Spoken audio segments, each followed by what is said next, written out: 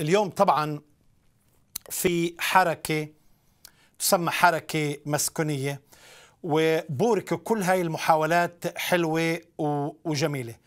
بس أي حركة مسكونية إذا ما كانتش مؤسسة على كلمة الله وعلى يسوع المسيح فإذا ما فيك يعني تتنازل عن الأساسيات الإيمانية الكتابية ليسوع المسيح.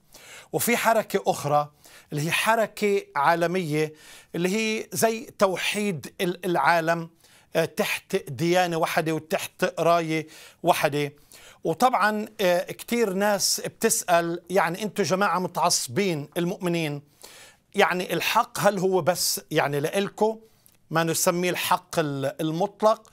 ما كل يعني كل ديانة عندها حق. وكل ديانة عندها طريق إنه تصل لله أنا عاوز أقول ان الله غير متناقض والله لا يناقض نفسه في كلمة الله. الله مش بيبعت كتاب بعدين بيبعت كتاب تاني اللي ينقض كتابه آه الأول. آه وهكذا. يعني هذا موضوع طويل. فالله غير آه متناقض. والله ما بغير فكره. ما عندنا فكرة الناسخ والمنسوخ. ما في عندنا إنه الله بغير فكره. عندنا الله حازم حاسم. كل كلمة بتكون يعني واضحة مثل وضوح الشمس.